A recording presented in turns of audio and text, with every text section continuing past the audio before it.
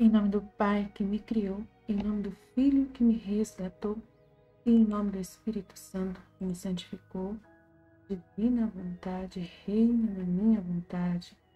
Ó minha mãe, eu te amo e tu me amas. Dai-me um gole da vontade divina, minha alma, me abençoa, mãe. Que todas as minhas ações sejam feitas diante de vossos olhos maternais.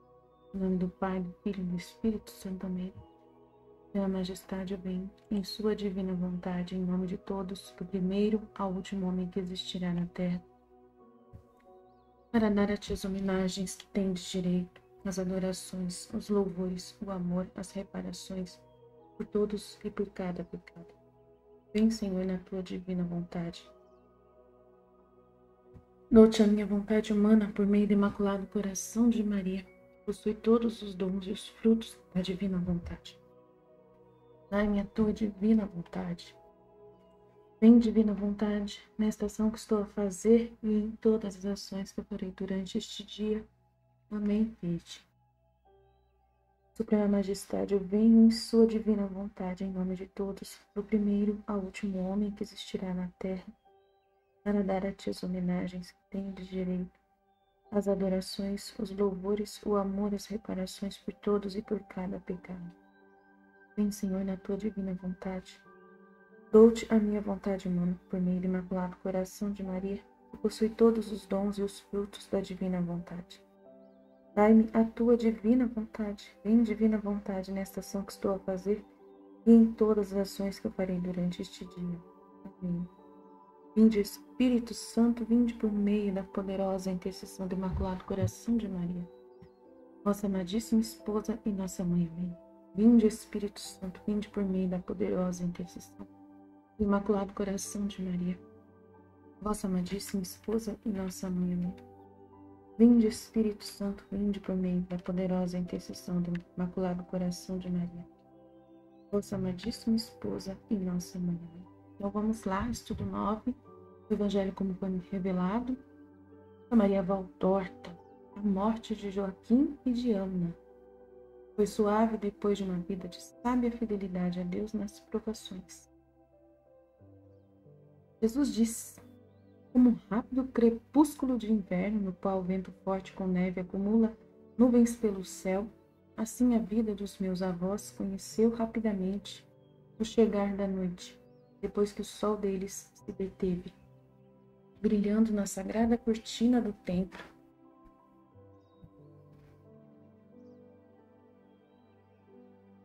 Mas foi dito: a sabedoria inspira vida aos seus filhos.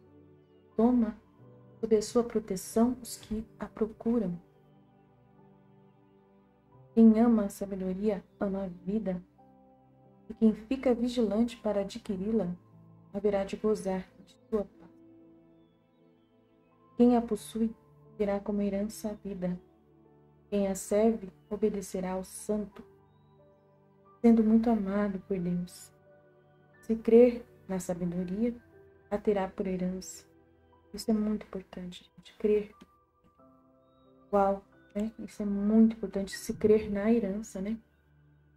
Se crer na sabedoria, se crer nessa vida, se crer em Deus, né? nesse, nesse amor de Deus. Tudo isso.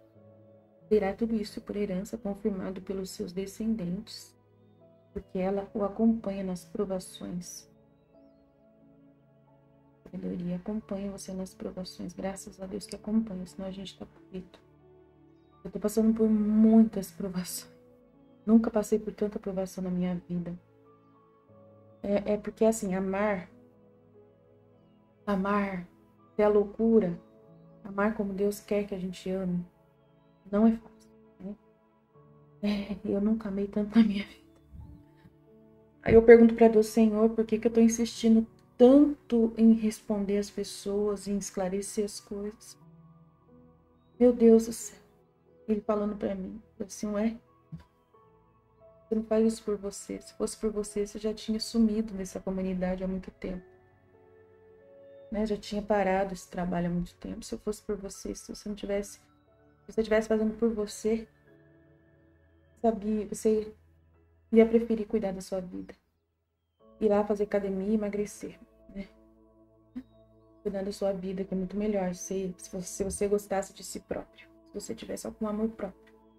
Agora você tem tanto amor por mim que você me defende, que defende a vida, a minha vida divina em você, com unhas e dentes.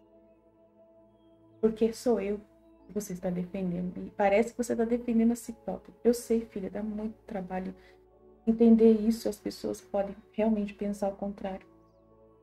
Né? Você tem um esforço tão grande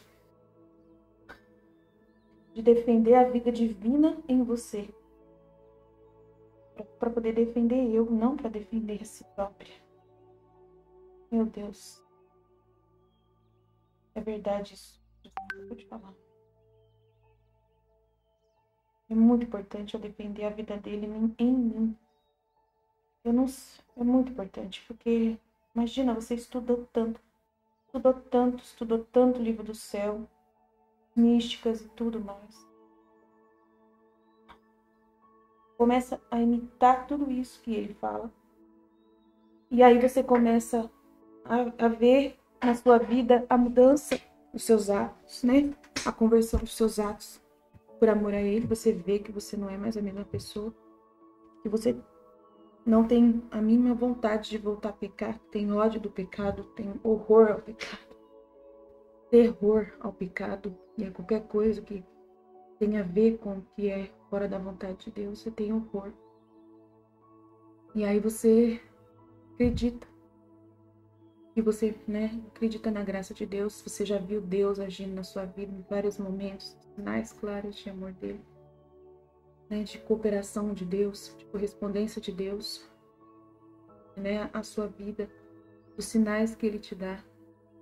Ele te protege, né, ele me protege demais.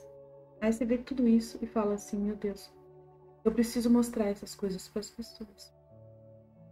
Eu preciso falar. E aí Jesus fala: Claro, se você não falar, você não é a minha voz. Você, se você não falar da minha obra, do que eu faço em você,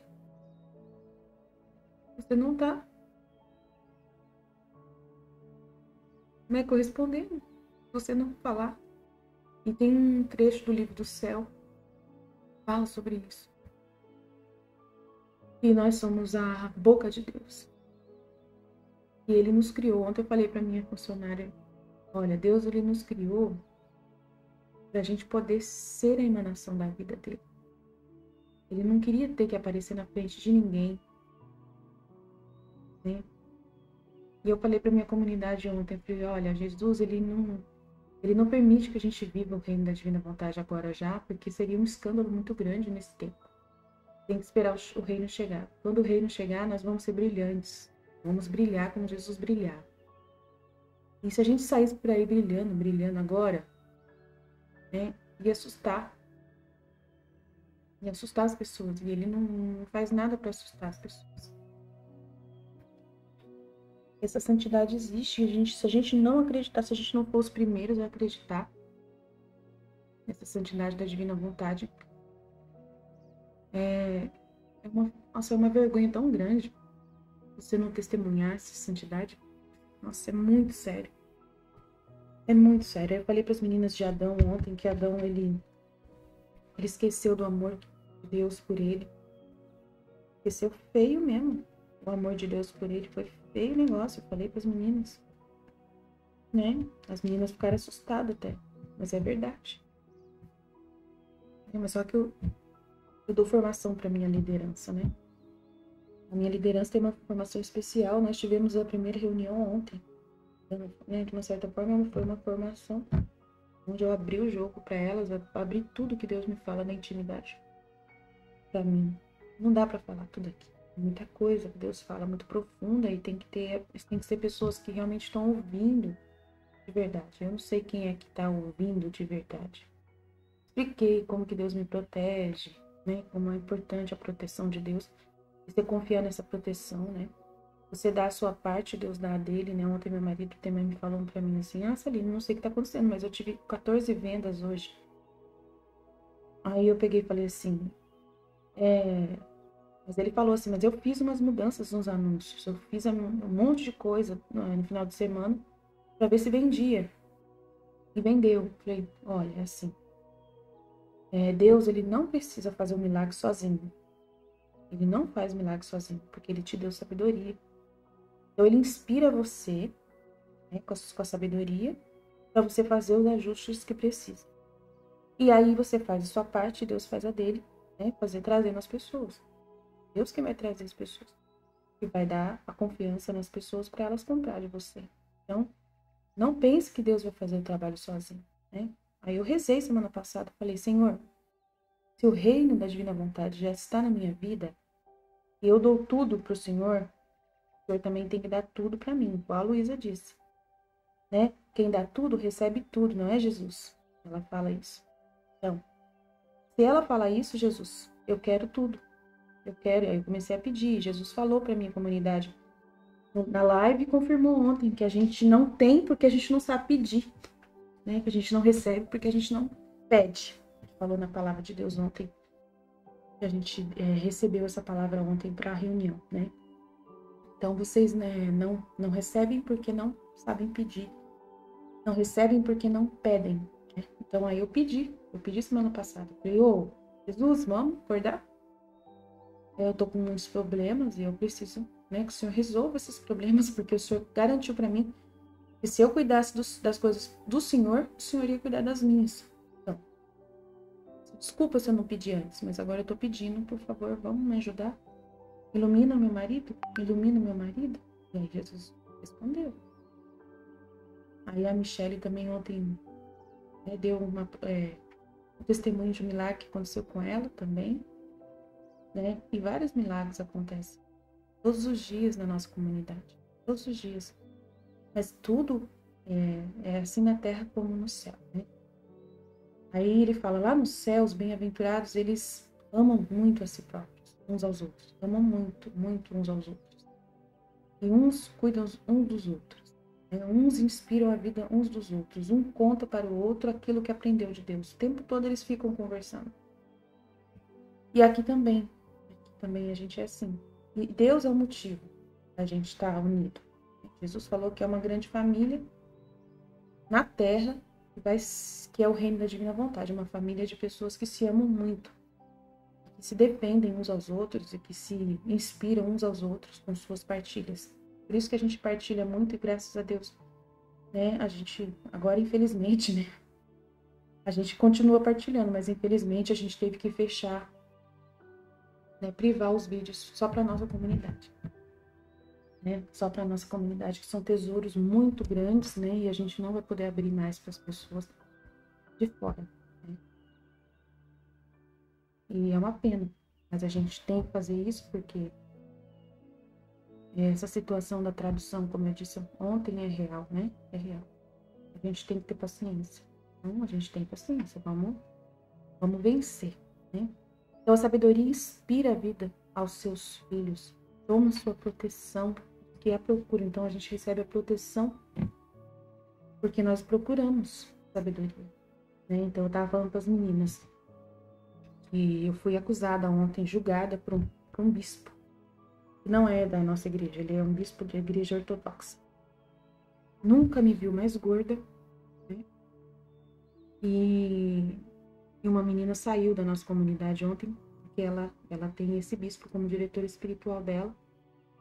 E ela mostrou uma foto minha para ele, mandou uma foto minha pelo WhatsApp, pelo celular, para ele.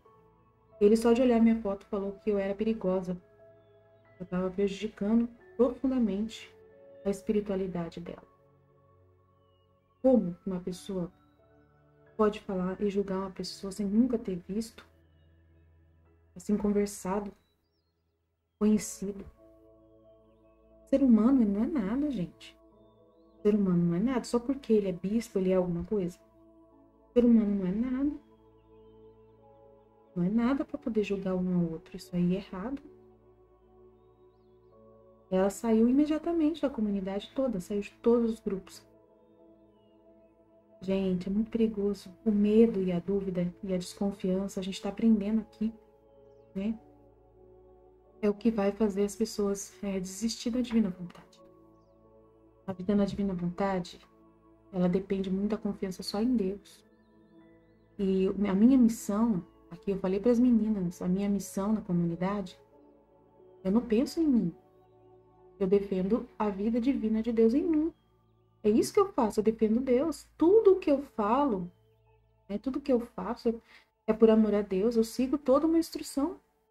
Sigo toda uma instrução de Deus, né, de que tudo, todo trabalho tem uma liderança. Todo trabalho, toda comunidade, até uma família tem uma liderança. Se você tem a sua família e você tem o seu esposo, ele precisa ser colocado como líder da casa, senão não funciona a estrutura. Tudo tem uma liderança. Tudo tem uma liderança. É até Deus, até a Trindade Santíssima. Tem o Pai, o Filho e o Espírito Santo. Né? O Pai que é o, né, a cabeça, pode falar, né? O Filho. E o Filho né, o, o, o completa o Pai. E quem executa é o Filho, né? Porque Jesus está no topo da pirâmide. O Pai está do lado esquerdo, né? Jesus está à direita do Pai, e o Espírito Santo está. Né? Isso mesmo, na direita. Deus, Pai, Filho e Espírito Santo. Então, Pai é a ponta aqui da, do triângulo. À esquerda, Jesus está em cima e o Espírito Santo está do lado. Né? Um triângulo, simboliza um triângulo. Pai, Filho e Espírito Santo. Jesus é o executor, o verbo, aquele que comunica. Mas ele só faz aquilo que o Pai pede.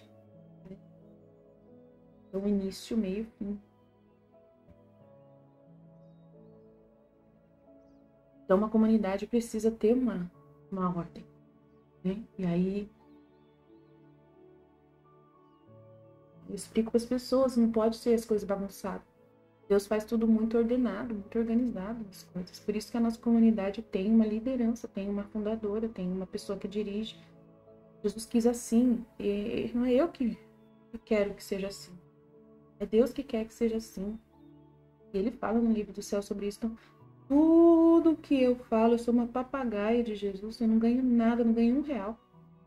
Eu não ganho um real. Nenhuma vantagem, nada. Gente, eu só tenho desvantagem. É prova todo santo dia que eu passo. Eu sofro todo dia. Se eu pensasse em mim, eu já tinha parado. Já tinha parado mesmo. Então é muito sério. E eu tô cansada. Nossa, eu tô precisando de férias. Muito cansada. Mas só que eu não paro. Porque não é por mim que eu faço. Não é por mim que eu faço. Né? Se você crer na sabedoria, a terá por herança, confirmada pelos seus descendentes, porque ela o acompanha nas provações. Antes de tudo, o escolhe. Depois enviará sobre ele todos os temores, medos e provações. Nem me fale. A sabedoria faz isso comigo todo santo dia. Eu falei para eles também ontem. A sabedoria me manda muitos temores, medos e provações, atormentando com o açoite da disciplina. Verdade. Eu vivo desse jeito. Eu vivo desse jeito. Para provar em seus pensamentos e adquirir a confiança nela.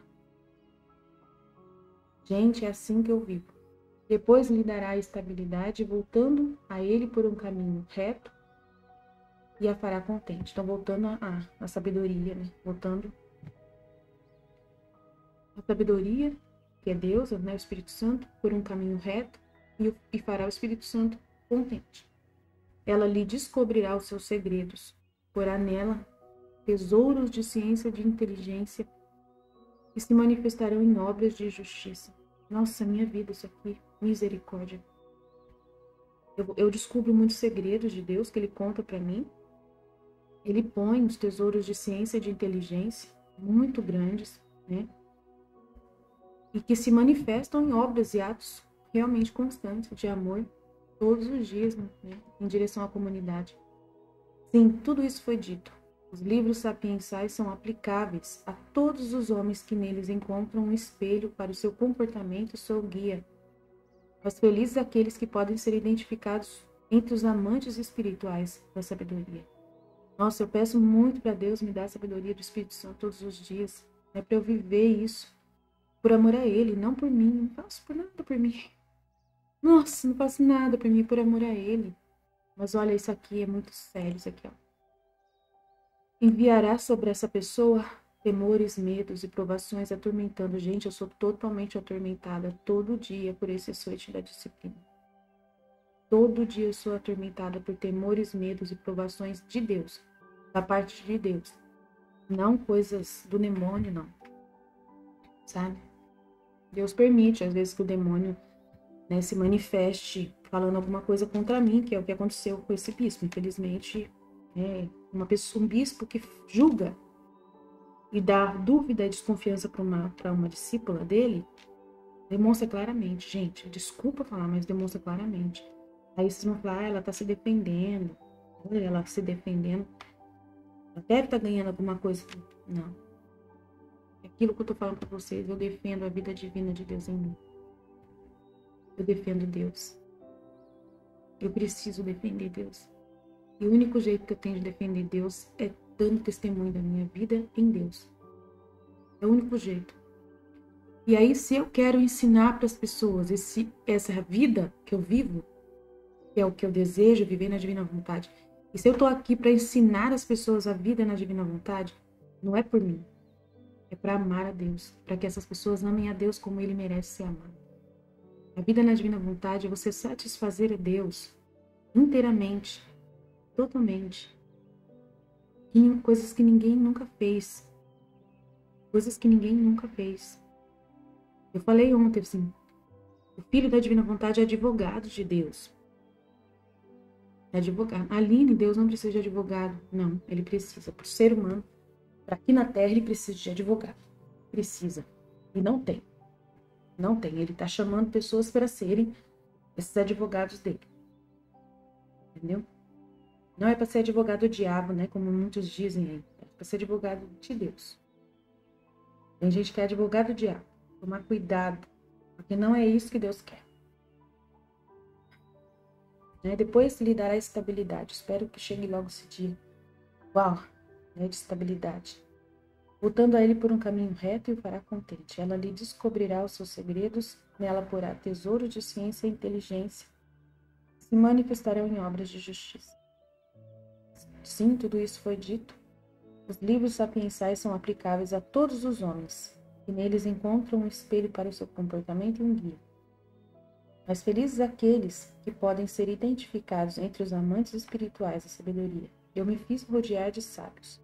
Foram meus parentes mortais, Ana, Joaquim, José, Zacarias e ainda mais, Isabel e depois o Batista. Acaso não são eles verdadeiros sábios?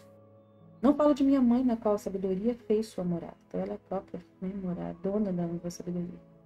Da juventude até o túmulo, a sabedoria tinha inspirado uma vida agradável a Deus em meus avós, protegendo-os do perigo de pecar, como uma tenda que protege da fúria dos elementos. O santo temor de Deus é base para a planta da sabedoria. Eu tenho um medo muito grande de ofender a Deus. Ontem eu falei para ele sim. Esse bispo falou mal de mim, e ele tiver certo, o Senhor me leve embora agora. Se ele tiver certo, o Senhor me leve embora agora. Agora. Porque eu não estou aqui para te ofender. Eu não estou aqui para fazer nada contra o Senhor. Né? Aí eu abri a Bíblia, um aplicativo que eu uso, para poder Deus me dar uma palavra, né? Graças a Deus, deu uma palavra muito linda. Muito linda mesmo. E na hora que eu abri a Bíblia, eu estava muito atormentada pelas palavras do bispo. Aí na hora que eu abri a Bíblia, sabe? Meu Deus. Tava assim, sabe aquela propaganda que fica no aplicativo embaixo? Tava escrito assim: Deus está do seu lado. E Gálatas 4. Quem quiser ler a palavra que Deus deu para mim. E o aplicativo tava Embaixo, aquela propaganda estava escrito assim, logo de cara: Deus está do seu lado. Quero que Deus, Deus queria me acalmar. Me acalmar.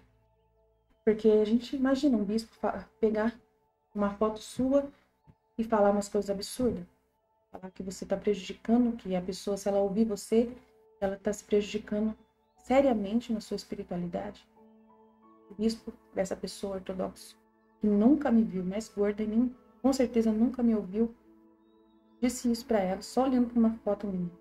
Eu que sou feia na foto pra caramba, gorda, eu não sou perfeita. Eu sou, como eu disse, um vaso deficiente. E o conteúdo, né, eu peço para que seja Deus. E peço para Deus me levar todo santo dia. Se eu estiver fazendo qualquer coisa, eu falei para ele, se eu for ficar na terra, eu falei, ou me enche ou me leva. Se eu for ficar na terra, é para ser cheio do teu espírito da sua sabedoria. Se for para mim ficar na terra e falar, fazer qualquer coisa que não é da tua vontade, leva embora. Antes que eu faça qualquer coisa que seja contra a tua vontade, me leva embora. E Jesus fala que não ofende ele amá-lo. Se você ama ele, não ofende ele.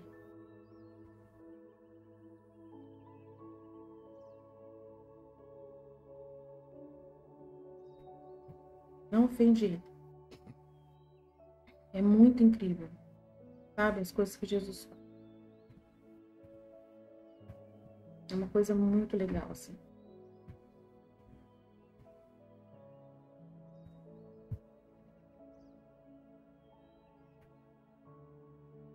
Então, assim, é muito importante a gente confiar em Deus, sabe? Confiar em Deus, ele se comunicar com você e você tá atento para poder entender o que ele está falando. Quem ama a sabedoria, ama a vida e terá a vida como herança, diz o Eclesiástico. Isto está ligado à minha palavra. Aquele que perder a vida por amor de mim, aí, aquele que perder a vida por amor de mim, salvá-la-á. Nossa, eu, eu, não, eu não tô vivendo mais para mim. Eu quero salvar, me salvar por amor de Deus. Né? Porque não se trata da vida, da pobre vida desta terra. Eu falei ontem isso para minha, pra minha funcionária, falei para ela que eu desabafei com ela ontem. Eu falei para ela assim: não é para viver aqui. A herança não é para ser aqui. Né? E falei para o pessoal também. Falei assim, olha, Jesus falou que aqui, falou para Luísa, que aqui a gente, ele vive dentro da gente. Nós somos muito pequenininhos. E ele tem que caber na gente inteirinho. Ele tem que assumir a, gente, a nossa vida inteirinha, todinho. O pouquinho de espaço que a gente tem tem que ser todo dele. Aí depois que você for para o céu, Aí você vai estar vivendo dentro dele, não ele dentro de você, que aqui na terra é Deus vivendo dentro de você. E quando você for para o céu, é você vivendo dentro de Deus. E lá é muito grande, porque ele é grande. Então, os seus bens, a sua herança está reservada nele, para você receber quando você estiver dentro dele, que ele é muito grande, cabe o seu o seu palácio que ele quer te dar, cabe todos os dons da sabedoria que ele mais quer te dar, as coisas que você não pode comportar na terra, ele tá mandando tudo para lá primeiro. Ele fala para Luísa assim, ó, tô mandando todas as obras que você faz, todas depositadas lá no céu. Tudo lá em mim, que sou eu. Depois, quando você for para lá, você vai estar tá entrando nos meus domínios e é muito grande. Então aí você vai ter tudo que você todas as promessas que eu tô fazendo para você aqui na terra, você vai receber lá no céu, não aqui. Então não vale a pena tem que confiar em Deus. E eu falei para ela, para minha funcionária, assim, eu tô provando que Deus existe, existe para minha comunidade hoje. Falei para ela. Hoje eu tô provando que Deus existe. Né? Porque às vezes as pessoas ainda precisam de, né, de provas. Às vezes, né, de correspondência de Deus. Precisam de sinais. E aí eu mostrei ontem, olha, como que eu conheço as pessoas. Como que Deus mostra para mim como são as pessoas por dentro né? As atitudes das pessoas, o que, que elas demonstram. Como você perceber que aquela pessoa está cega pelo orgulho, né? Como se revela as pessoas e as verdades que estão ocultas. Como Deus faz você saber de tudo. Aí eu mostrei para ele, olha como que Deus me protege. Deus me protege e me faz descobrir coisas que estão ocultas. É pelo amor. Eu dou amor Jesus falou assim: dá amor para as pessoas e as pessoas vão te dar a verdade. Dá amor para as pessoas que as próprias pessoas vão te dar a verdade. Porque elas não têm coragem. Elas não têm coragem de se manterem falsas e esconder as coisas do amor. Elas têm desejo de serem amadas. Se você fala a verdade e ama elas, elas se sentem na correspondência de te amar também, e daí acabam se abrindo, falando a verdade para você. E aí você tem que ter paciência, deixar o tempo, dar, né, dar tempo ao tempo, Tem pessoas que nunca vai te entender, né? Jesus fala, tem pessoas que nunca vai te entender. Você tem que ter misericórdia dessas pessoas e rezar por elas. Eu faço isso. É, muitas pessoas saíram da minha comunidade por causa de não me entender, porque entender o amor é difícil. O amor de Deus é um amor, eu falei pro pessoal da comunidade, é um amor louco, é um amor estranho. É como se fosse o marido que perdeu a esposa, né? Que a esposa traiu ele, ele descobriu que a esposa traiu ele e ele ama muito aquela esposa, ama tanto que tem que deixar a esposa embora, mas ele fica arrasado. Ele fica arrasado, arrasado pelo vazio que ele sente da esposa que não está mais com ele. E aquele vazio nunca é completado. Nunca. Ninguém consegue completar aquele vazio. E Deus é desse jeito. E Deus ele ama desse nessa loucura. Né? E ele sente tanta dor, tanta dor pela rejeição, né? Pela pessoa ter trocado ele pelo demônio. Ele sente uma dor tão grande porque ele sabe que ele ama aquela, aquela pessoa bem mais.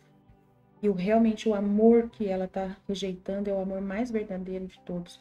Ele tem certeza desse amor que ele sente. E aquela pessoa não aproveitou o amor, não reconheceu né, e virou as costas.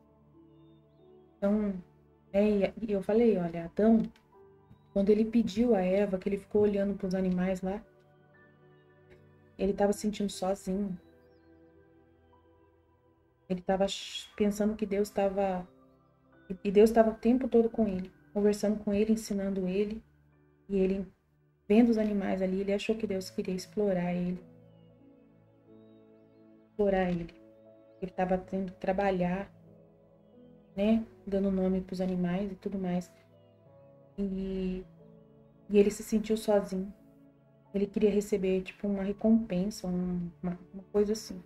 Ele, ele não ele não percebeu né, que aquelas coisas ali eram muito maravilhosas. Ele esqueceu que aquilo ali era amor. Ele só viu aquilo ali como um peso, como um, né, como um trabalho. Como... E aí ele vendo aqueles animais, ele falou: cadê a minha? Cadê a minha companheira? Porque ele queria ter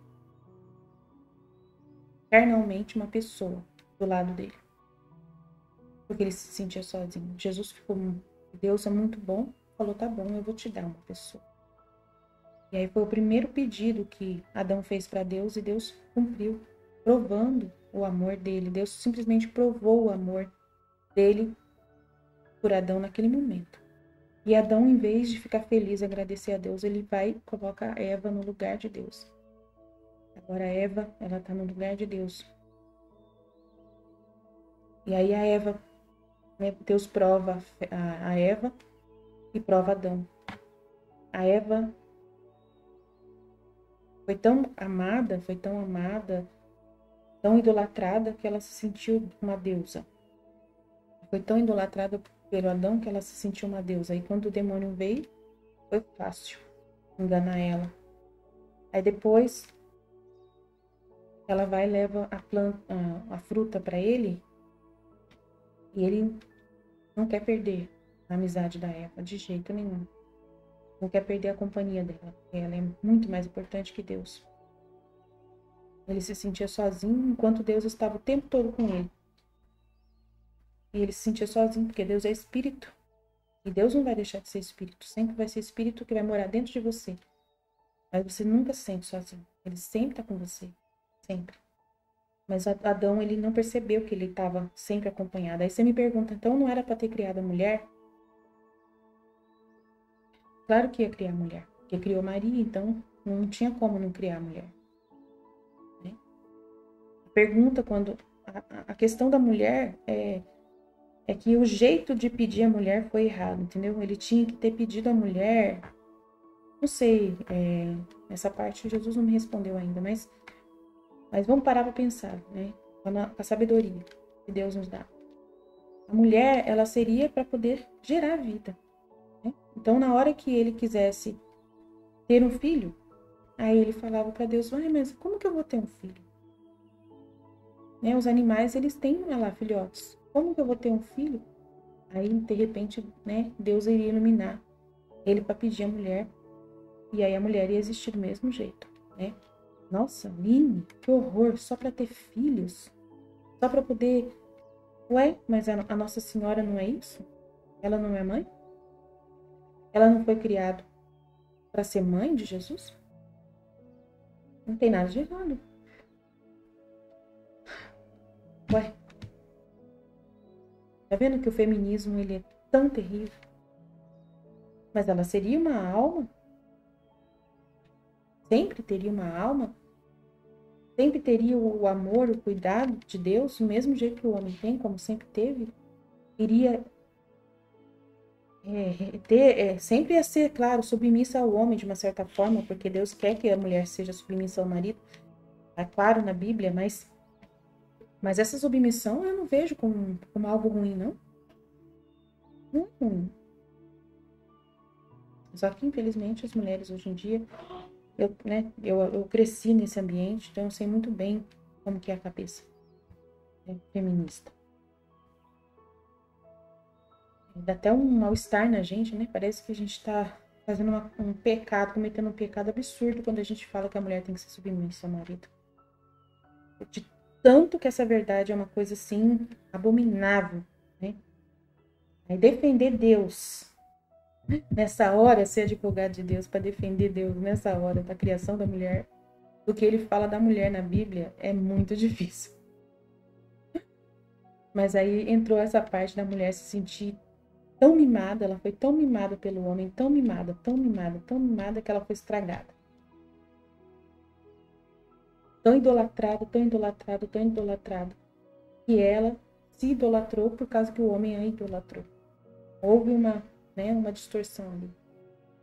Tudo vontade humana. Né? E aí acabou acontecendo.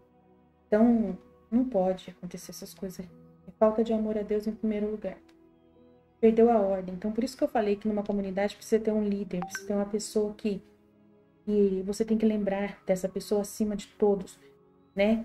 Não que essa pessoa ela é melhor do que os outros, não, mas por causa que essa pessoa ela ela ela é responsável. Ela assume, ela tem uma carga de responsabilidade. O homem, tá, né? Ele tem uma carga de responsabilidade muito grande. Se ele falhar, a família toda se perde. A família toda desanda. Né? Se um, um, um, a cabeça Deus colocou numa liderança falha, todo mundo falha. Porque a responsabilidade é, Deus coloca nessa pessoa. Né? Então, é difícil as pessoas entender tudo que Deus faz. Mas a gente entende a sabedoria essa força, né? essa realidade. Joaquim, ele era. Vocês viram como ele falou com Nossa Senhora, né? Pura sabedoria. Pura sabedoria. E, nós, e a Ana? A Ana sabia quem era Maria, guardou o segredo. Né? Submissa a Deus, principalmente, em primeiro lugar, nem contou para Joaquim. Guardou e morreu com essa informação. Sabendo que Maria era mãe de Deus. Que a sua filha era mãe de Deus. Então é muito lindo isso. Quem ama a sabedoria ama a vida e terá a vida como herança. Diz o Eclesiástico. Esta está ligada à minha palavra. Aquele que perder a vida por amor de mim, salvá-la-á. Porque não se trata da pobre vida desta terra, e sim da vida eterna. Não se trata das alegrias de um momento, mas das alegrias imortais. Foi neste sentido que Joaquim e Ana amaram a sabedoria. E ela esteve com ele nas provações, com eles nas provações. Quantas provações! Vós por não serdes completamente maus, desejarias nunca ter que chorar e sofrer. Imaginem esses justos quantas dessas provações eles tiveram, embora merecessem ter Maria por filha. A perseguição política que os expulsou da terra de Davi, empobrecendo-os grandemente. Eu falei para vocês que eles ficaram muito pobres, né? A tristeza de ver reduzido a nada os anos que iam passando sem que uma flor lhes dissesse eu serei a vossa continuação. E depois o receio de tê-la conseguido já na idade em que não tinham nenhuma certeza de chegarem a vê-la mulher. É, já estavam muito velhos. Além disso, o dever que teriam de cumprir de afastá-la de seus corações para a colocarem sobre o altar de Deus, né, ofertando Maria. Ainda mais tiveram que viver num silêncio bem mais pesado depois de estarem já habituados com o arrulhar de sua pombinha, com o rumor dos seus passinhos, os sorrisos e beijos de sua filhinha, ficaram agora esperando apenas por entre recordações a hora de Deus, né, a hora que fosse embora. E muitas outras coisas, doenças, calamidades do tempo, prepotência dos poderosos, quantos duros golpes assestados contra o frágil castelo de sua modesta propriedade. E ainda não basta o sofrimento da filha que está longe deles, que vai ficar sozinha e pobre. Sozinha e pobre, é verdade. Nossa Senhora ficou só não ficou sozinha porque ela nunca esteve sozinha. Ela, ela foi ao contrário de Adão e Eva. Totalmente ao contrário. Ela nunca se sentiu sozinha nem por um instante. Por causa de ter esse relacionamento com Deus e nunca colocar ninguém no lugar de Deus. Nossa Senhora foi assim. Apesar de todos os cuidados e sacrifícios, não tendo mais do que as sobras dos bens paternos, que é a casinha de Nazaré. Né? Como irá esta filha encontrar estas sobras, se ficarem por muitos tempos sem serem cuidadas, imobilizadas a sua espera? Né? Por muito tempo a casa lá, né? E morreu, até chegou a morrer uma, uma, uma das árvores que ela amava tanto. Temores, medo, provações e tentações e fidelidade, fidelidade, fidelidade sempre a Deus. Eles foram fiéis, fiéis, fiéis. E a tentação mais forte, que não se lhes negasse o conforto de terem sua filha junto a eles, quando já estivessem bem idosos, mas os filhos são de Deus antes de serem dos pais. E cada filho pode dizer isto. Eu disse à minha mãe: Não sabes que eu devo tratar dos interesses do Pai do céu? Jesus falou: Não sabes que eu devo tratar dos interesses do Pai do céu? Ele falou isso para a mãe dele. Eu falo a mesma coisa. Não sabes que eu tenho que tratar de defender Deus, de amar a Deus e de ensinar a vida divina para as pessoas enquanto eu tiver vida? Eu prometi para Deus que enquanto tivesse vida, era para viver na divina vontade e ensinar os outros a viver na divina vontade. Eu não posso voltar atrás. Doa quanto doer, Passe pelos temores, provações aqui de cima que ele fala, pelas provas. Passe por tudo isso, né? O santo temor de Deus que eu tenho como planta da sabedoria, né? E lança todos os seus ramos até atingir o vértice, o amor tranquilo, a paz, o amor pacífico na sua segurança, o amor seguro na sua fidelidade, o amor fiel de sua intensidade, enfim, o amor total, generoso, ativo dos santos então, vivo isso profundamente, né? E vivo isso aqui profundamente. A sabedoria vai enviar sobre essa pessoa temores, medos, provações, atormentando-a com açoite de sua disciplina. Muito fortes, para prová-la em seus pensamentos e adquirir confiança nele. Jesus todo dia me dá motivos para largar mão. Todos os dias ele me dá motivo para largar mão da minha comunidade, desse trabalho, todo santo dia. E eu tenho que todo santo dia falar assim: Fiat, é por amor a ti, não é por mim. Fiat, é por amor a ti, não é por mim. Fiat, é por amor a ti, não é por mim. Todo santo dia eu sofro muito para conseguir. Muito para conseguir testemunhar o amor de Deus na minha vida. Muito, muito. Mas as pessoas, elas não me conhecem. Nada que pega uma pessoa, pega uma foto minha e já fala que eu sou um monstro. Ai, Jesus, misericórdia. O sofrimento da filha que está longe deles, que vai ficar sozinha e pobre, apesar de todos os cuidados e sacrifícios, não tendo mais do que as sobras dos bens paternos. Como irá esta filha encontrar essas sobras? Se ficarem por muitos anos sem serem cultivadas, imobilizadas à sua espera, temores, medos, provações e tentações. Ela também passa pelas mesmas coisas. Nossa Senhora passa pelas mesmas coisas. E a tentação mais forte e não se lhes negasse o conforto de terem sua filha junto com eles, quando já estivessem bem bons. Então foi negado para eles o conforto de terem, de terem a Nossa Senhora quando já estavam bem idosos. Mas sabe o que é interessante? É que no livro da Mística Cidade de Deus, Jesus manda a Nossa Senhora para ficar com eles no, no último dia deles. Nossa Senhora vai em espírito e, e eles vê ela. A Ana viu a Nossa Senhora cuidando dela em espírito. Bilocou, Nossa Senhora bilocou, esteve dois, em dois lugares ao mesmo tempo. Incrível, gente. Mas só que como a Valtorta, ela não vê essas coisas, né? Espirituais, assim, nessa ordem. Então, ela não, não revelou para Valtorta. Jesus não revelou para Valtorta, ela revelou para Santa Águeda. A Santa Águeda, ela que recebeu o mandato para falar da vida íntima de Nossa Senhora. E, e a Valtorta só recebeu o mandato de escrever o Evangelho como foi revelado a ela. Então, o Evangelho como me foi revelado. Então, ela estava lá e vendo as coisas, ela tinha o dom de estar na cena, sentir cheiros, ver as coisas que, que aconteciam como elas eram acontecidas e, e, o que Jesus falava. Aquilo que Jesus falava. Isso aqui é um ditado de Jesus. Né? Jesus está ditando e ela tá, só está copiando, só está escrevendo o que Jesus está falando. E Jesus é tão, ele, é, Jesus, ela fala que Jesus é tão paciente e ele fala várias vezes, porque às vezes ela está doente, às vezes ela não está bem, a torta. E aí Jesus fala várias e várias e várias vezes para poder ela, ela, quantas vezes precisar. Ele repete. Nossa, nossa como Deus é obediente, é, como Deus é, é, pequeno, né, de ficar de pessoa.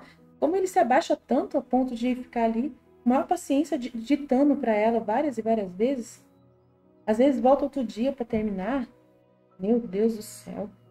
E aí as pessoas falar para mim, tem gente que falar que esse evangelho não é confiável. Padres acharem que esse evangelho, sabe o que é ruim na igreja é que os padres eles têm opinião. É muita opinião pessoal deles. É um problema sério esse negócio de opinião pessoal do padre. Deus, não pode ter opinião pessoal. Só porque eles estudaram, estudaram, estudaram muito, muito, muito, muito, eles acham no direito de ter opinião pessoal. Isso é vontade humana. Entendeu? É perigoso esse negócio.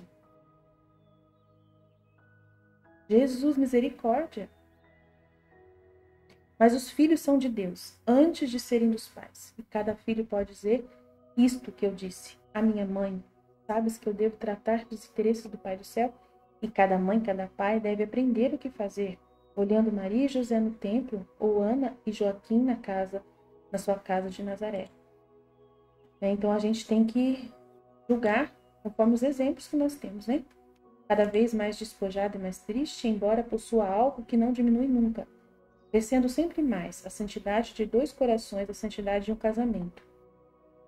Aí esses dias falaram que a, que a, que a, que a Luísa Picarreta é deprimida. Né? Aí Jesus mesmo está falando assim, ó, cada vez mais despojado e triste, né? Mas possuindo uma santidade. Então, aqui na terra, né? Aí Jesus, a Nossa Senhora, foi a Nossa Senhora que falou? Né? Na palavra de Deus está falando assim, faça da sua, do seu riso uma, uma, uma tristeza e faça da sua alegria uma, não sei o que lá. Agora é no São Tiago. Peraí, deixa eu ver onde está essa passagem. Peraí. Eu achei interessante essa passagem que Jesus deu ontem para minha comunidade. É muito interessante. É, deixa eu ler aqui. Faça do seu riso uma tristeza. Nossa, é muito incrível isso. Como que pode um negócio desse, hein? Deixa eu ver se eu É, São Tiago 4, de 1 a 17. Ele fala aqui.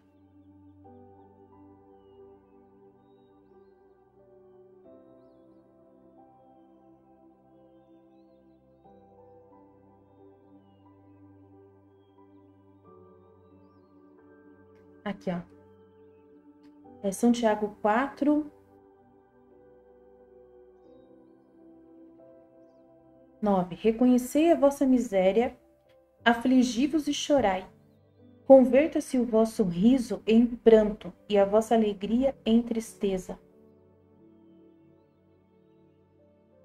Aproximai-vos de Deus e ele se aproximará de vós. Lavai as mãos, pecadores, e purificai os vossos corações, ó homens de dupla atitude. Reconhecei a vossa miséria. Afligi-vos e chorai. Tá vendo? Afligi-vos e chorai. Aí falaram que a, que a, que a Luísa Picarreta é deprimida. Mas aí a palavra de Deus é clara. Reconhecei a vossa miséria. Olha só. Afligi-vos e chorai.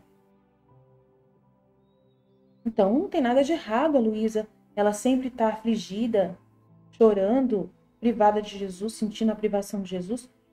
Ela, a igreja está ensinando uma santidade hoje. de, de, de, de, de falsidade. Porque a verdadeira santidade faz com que a gente seja triste. Como em carne, na carne, triste na carne.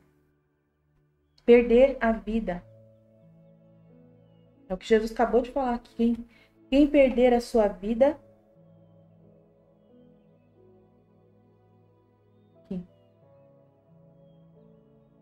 Aquele que perder a vida por amor de mim, salvá-la-á. Aqui na Terra não é para a gente ficar pulando. E a Santa Faustina falou, ela mostrou dois, cam dois caminhos. Ela mostrou dois grupos de pessoas. Um grupo de pessoas estava dançando, dançando, dançando, dançando, louvando a Deus, louvando a Deus. Dançando, dançando, agradecendo. Não, assim, dançando, dançando, dançando, dançando.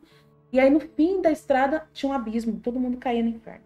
Aí no outro, é um outro caminho, que era uma vereda super estreita, muito estreita, não era nem caminho, Santa Faustina falou, cheio de espinhos, e as pessoas se arrastando com lágrimas, machucando-se para poder chegar no céu. E lá no final, aí tinha o céu. Aí lá é uma felicidade gigantesca.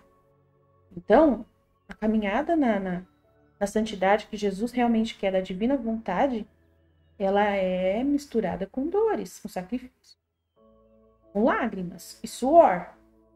E aí eu estou ensinando isso aqui na minha comunidade. E aí, aí eles vão, olha para aí uma comunidade de pessoas católicas falou que a Luísa é deprimida e rejeitaram a santidade da divina vontade por causa que a Luísa é deprimida, do jeito da Luísa ser. Mas só que Jesus, ele ele tá falando a mesma coisa aqui. Ele tá falando aqui. Converta o vosso riso em pranto e a vossa alegria em tristeza. Porque essa, o riso aqui da terra. O riso daqui da terra é carnaval. Então imagina o carnaval. Chore pelo carnaval. Chore pelo carnaval. Jesus não pede para a gente chorar pelo carnaval? A gente não tem que ir para o carnaval? A gente tem que chorar enquanto o pessoal está indo no carnaval? A gente está na quaresma, tem que chorar. Começando a quaresma. Não é para a gente pular carnaval. É para a gente ficar penitenciando enquanto eles estão fazendo orgia. Porque essas pessoas estão indo para o inferno. É o que a Santa Faustina mostrou na TV a visão. Deus mostrou para ela. E transformar a alegria da terra em tristeza. Aí Jesus fala para mim assim, Aline, se eu te der dinheiro, né, o padre até falou na missa esse domingo agora, ele falou assim, é, a fartura é Deus te dar tudo o que você precisa o básico. Isso é fartura. O padre falou na igreja. Ele falou assim: a fartura é o que Deus te dá, que é o básico. Não deixa faltar. Não é sobra. Fartura não é sobra. Fartura é você ter o suficiente para hoje. Mas as pessoas, elas, a alegria das pessoas é ter muito, muito, muito. Isso é tristeza porque isso faz com que a pessoa se acomode. Se acomode em todos os sentidos. Jesus fala assim: se eu mandar muito dinheiro para você exagerar, você vai se acomodar. Já falei várias vezes aqui e isso falo para minha comunidade direto. Gente, o dinheiro demais faz você se acomodar.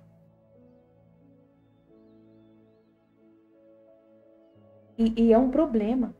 Você tem uma piscina, você é rico, tem duas, três casas com piscina. Para administrar isso, você tem que ter funcionário em cada casa e pagar o funcionário todo mês, ainda fiscalizar o funcionário para ver se ele está cuidando da casa, está limpando a piscina, porque se você tiver uma piscina, você pagou um absurdo para ter aquela piscina, você tem que manter ela. E para manter ela, tem que, além de ter a paciência de limpar ela todo dia, ou pagar um funcionário para isso, que vai ser custoso, você tem que gastar com a água você para manter ela, na, né? Jesus, quanto mais você tem, mais trabalho você tem, mais ocupação você tem, que você coloca né, isso na frente de Deus. Então, quanto mais dinheiro você tem, mais bens você tem. E os bens se estragam. Aqui da terra, tudo que você tem estraga. Aí você tem que saber administrar isso. Não é fácil. Aí tem gente que se gaba, ah, eu, eu tenho investimentos. Eu tenho investimentos na bolsa, tenho muitos, muitos investimentos. Grande coisa, porque se a empresa é cancelada, no, por algum motivo, a empresa faz alguma coisa que dá um tiro no pé, você perde todas as ações ou elas desvalorizam. Então, tudo que é da terra, Jesus fala, a, a, o bicho rói e come. Se perde, né? A traça corrói. Então, você tem que querer esses, esses prêmios do céu. Então, seja sábio. Isso é a sabedoria. Foi isso que Joaquim, a Ana e, a, e esses sábios que Jesus apontou aqui, João Batista, né, a Isabel, Zacarias, buscaram, né? Buscaram. Então, então eu não estou saindo da, da meditação. Eu estou firme na meditação aqui. Vocês acham que eu estou falando de mim? Mas eu estou falando da sabedoria, né? Porque o tema também é sabedoria. Joaquim e Ana deixaram atrás de si uma vida inteira vivida numa consciência reta e surge então como um plácido panorama, servindo-lhes de guia para o céu. Eles tinham a santa em oração pelos seus pais, né? eles tinham a santa, e a Nossa Senhora que estava orando pelos seus pais que estavam longe. Diante do tabernáculo de Deus, pais colocados por ela em segundo lugar depois de Deus. Então estava segundo lugar depois de Deus. Que é o bem supremo. Deus é o bem supremo. Mais que eles, mais que eram amados, como a lei e o sentimento exigiam.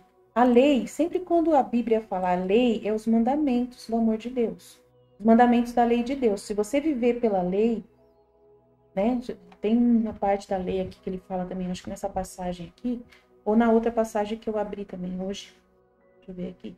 Aqui, meus irmãos, não faleis mal uns dos outros. Quem fala mal do seu irmão ou julga, fala mal da lei. Julga a lei.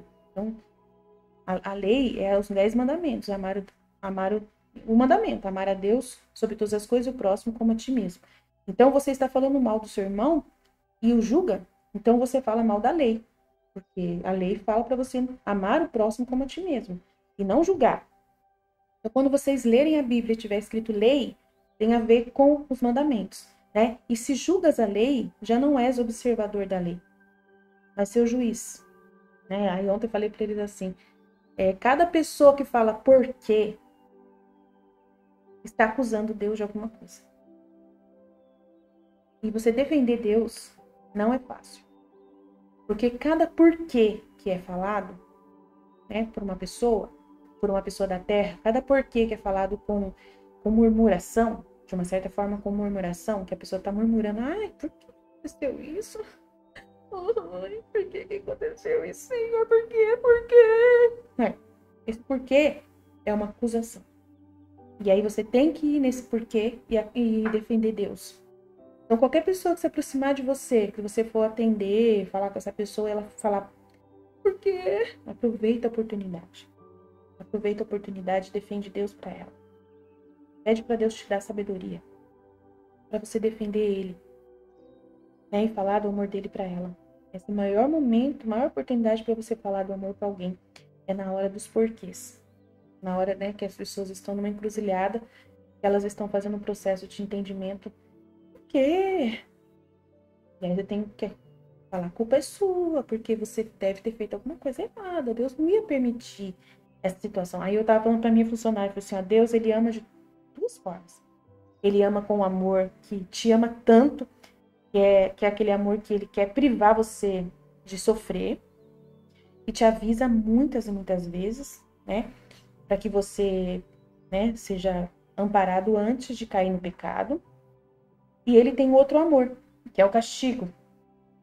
Então ele usa todo o mal que é feito na terra para poder reverter em castigo. O mal que é feito com malícia para reverter em castigo. Né? Ele pega o mal para fazer o bem, sempre. Então, se ele permite qualquer coisa má no mundo, é para fazer o bem. Ele pega e faz o bem com esse mal de alguma forma.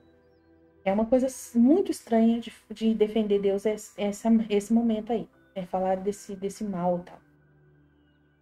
Explicar, aí a pessoa não entende. Tem gente que não entende. É absurdo Deus fazer o mal. Deus permitir o mal. Não, não, não cabe na minha cabeça ali. Não é possível. Então, ele não é que ele é o mal. Não é que ele permite o mal. É assim, por maldade. Ele não faz isso por maldade. Ele permite por causa que nós provocamos desde o início, nós escolhemos rejeitá-lo e o mal entrou na, no mundo. Então agora ele pegou através de Jesus Cristo e reverteu todo o sofrimento e, mal, e o mal em amor, né? Em cura. E aí, o mal que é permitido para a gente são castigos por causa que nós não ouvimos os avisos de Deus, que ele mandou anjos e anjos e anjos. E aí eu falei para minha funcionária, para esse anjo, às vezes não é uma pessoa de luz que vai falar com você, na, né, na sua mente, ali um anjinho, um anjinho que fala. Tem esse anjo, mas tem anjos homens, pessoas mesmo visíveis que aparecem na sua frente, que são anjos na sua vida. Deus usa como anjos, pessoas eleitas por Deus, que são usadas por Deus, inspiradas por Deus, e elas fazem as coisas por inspiração para te ajudar. Isso são anjos, que Deus manda na hora que você nem imagina. Né? Teve um anjo claramente que, é, que socorreu a minha vizinha. Né? É, a minha vizinha estava com duas bebezinhas recém-nascidas, ela não tinha experiência nenhuma de mãe. E aí, ela ela estava com uma menina que estava afogando do leite, logo recém-nascida, estava afogando, quase morrendo. A menina estava roxa já. Aí ela gritou na rua, o marido não estava em casa, ela gritou na rua, uma pessoa entrou na casa e, e socorreu a criança, naquele momento, assim, na hora, e sarou a criança. Isso é anjo. Isso é um anjo. Aí eu falei para ela assim, isso aí é um anjo que entrou na sua casa nesse momento, nesse exato momento. Agradeça a Deus. Não foi essa pessoa que salvou sua filha. E, e se você der o mérito para essa pessoa, é errado. Porque não foi aquela pessoa que salvou sua filha, foi Deus. Você tem que lembrar de Deus e agradecer a Deus. Colocar ele em primeiro lugar. Então, a Nossa Senhora, ela sabia disso. E ela vivia desse jeito. Ela colocava Deus em primeiro lugar, que é o bem supremo. Ele é o único que faz o bem. Ele é o único que faz o bem. E, e, e Jesus, ele permitiu que aquela criança se afogasse. Por quê? Para a mãe poder ter mais cuidado com a criança. É assim que Deus ensina a gente, é avisos. Não é maldade de Deus. É aviso para poder a mãe ter mais cuidado com a criança ser mais responsável. É isso. Nunca é mal. Nunca é uma coisa ruim. Tudo que Deus faz é perfeito.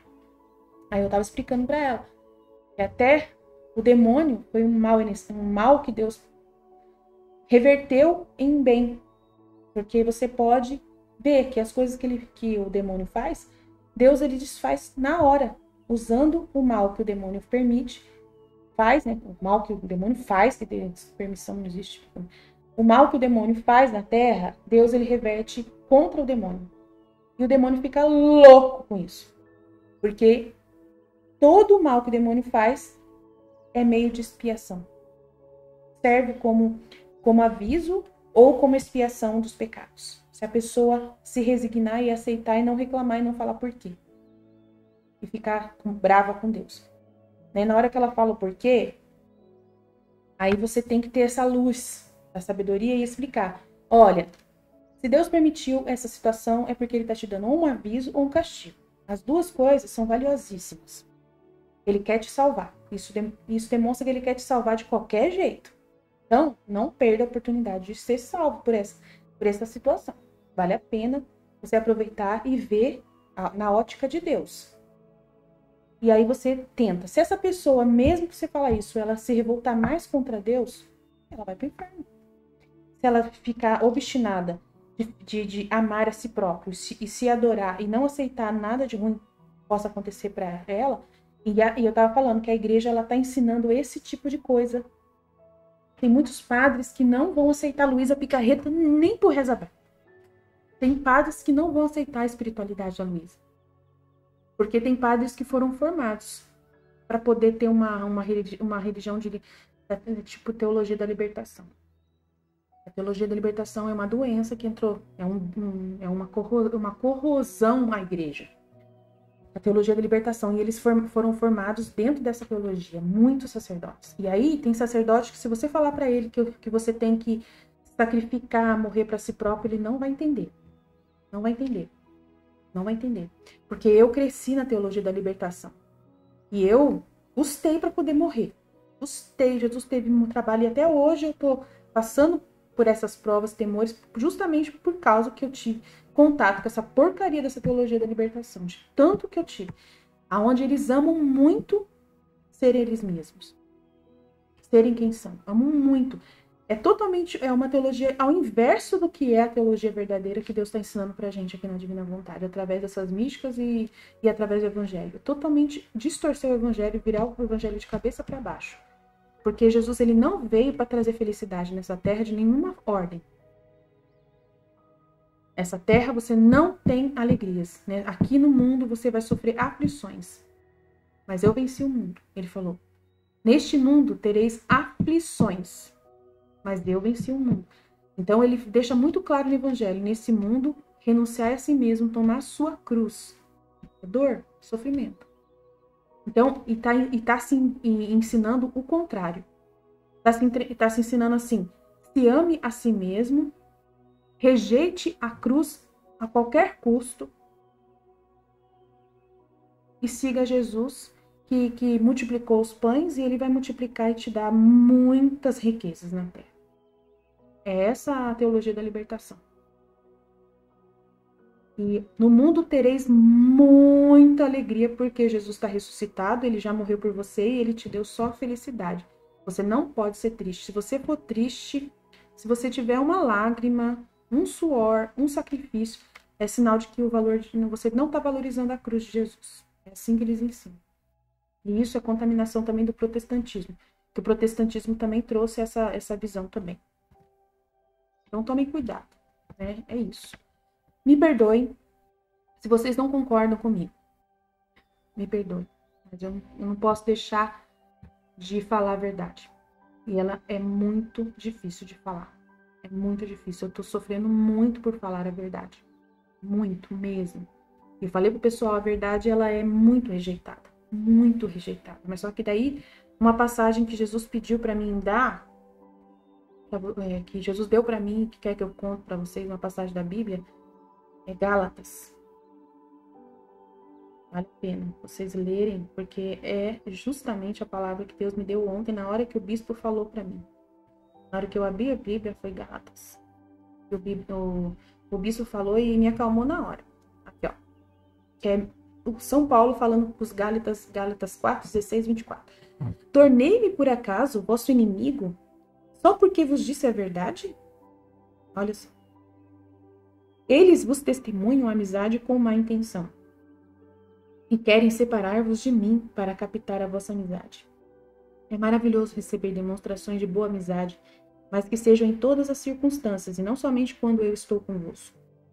Filhinhos meus, por quem de novo sinto dores de parto até que Cristo seja formado em vós?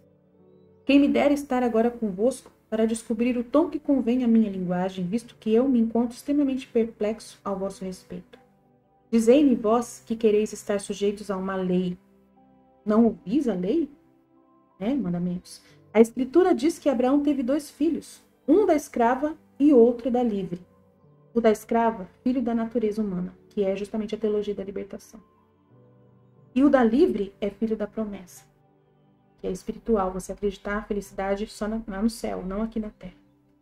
Quem perder a sua vida vai recebê-la. E né, quem perder aqui a sua vida na terra vai ganhá-la, vai salvá-la. E quem aproveitar a vida aqui na terra vai perder a vida aqui na terra. E é os dois caminhos da Santa Faustina que eu falei. Né? Nestes fatos há uma alegoria, visto que aquelas mulheres representam as duas alianças. Uma do Monte Sinai, que gera para a escravidão, a do Monte Sinai gera para a escravidão, que é Agar, né? E a outra é que gera para a libertação, que é o céu. Então Jesus ele veio trazer a santidade que leva para o céu e não a santidade que você vai viver bem aqui na terra, porque você segue os mandamentos da lei e aí você obedece a lei à risca e é isso que depende só em direção ao que é humano, ao que é natural da terra e você esquece de Deus, colocar Deus em primeiro lugar. Então, então é delicado, tá vendo? É muita luta. Então, leiam Gálatas 4 inteiro, porque eu tô aqui só com Gálatas 16, 24. Deixa eu ver se tem mais aqui. Tá aberta a Bíblia que tá aqui.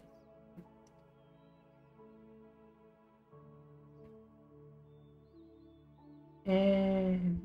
Portanto, já não és escravo, mas filho, e se és filho, então também herdeiro por Deus. Outrora é certo, desconhecendo a Deus, servis a aos que na realidade não são deuses. Né? Se você serve o humano, se a igreja ficar servindo pessoas, e querendo trazer essa, essa visão é, de que aqui na Terra a gente vai ser feliz. Mas aí aquela coisa que eu falei para vocês, o, a gente, eles acreditam no reino da divina vontade e podem ser que distorçam essa visão do reino da divina vontade, acham que tem que ser por mãos humanas que vai acontecer, né? E se o Papa Francisco ele for muito teologia da libertação, ele pode estar distorcendo, ele pode estar distorcendo um pouquinho o reino da divina vontade como sendo algo humano, mas é humano sim, mas só que um, um humano em direção ao divino. A vida divina em você, onde você se renuncia totalmente, morre para si mesmo, para poder Deus fazer as coisas acontecer e essa comunidade, por exemplo, é um exemplo nosso, né? Nós somos uma comunidade, uma família divina. Eu expliquei para eles ontem. Jesus revelou para a gente ontem que a nossa família é uma família divina, porque são pessoas que estão vivendo a santidade da divina vontade. Então todo mundo tem a vida divina. E todo mundo tem que defender essa vida divina, né? E para defender essa vida divina, a gente tem que ser amor. Amor em todas as direções. Amar por amor a Jesus. Então a vida na divina vontade é amar por amor a Jesus. Então tudo é por amor a Jesus. Tudo é para agradar somente a Deus. Não é em direção ao humano. Você não ama aquela pessoa por amor, a, por causa que você ama aquela pessoa. Você ama ela por, porque você ama Deus. Então, tudo que você faz em direção àquela pessoa não é você que está fazendo, é Deus quem está fazendo. Então, você faz o melhor, porque você está fazendo em nome de Deus. Então, você vai representar Deus na terra. E aí, você tem que falar desse amor de Deus para os outros. E Jesus fala isso no livro do céu bastante. E o ser, por que, que ele criou o ser humano? Ele explica o que, que era para ser o ser humano? Eu vou fazer uma formação sobre isso. Peço paciência de vocês, porque Deus está me preparando para dar essa formação. Vai ser uma formação que vai mudar a vida de vocês profundamente. Amém? Que Deus abençoe a todos. Em nome do Pai, do Filho e do Espírito Santo. Amém, Jesus? Eu confio em vós. Pite, pite.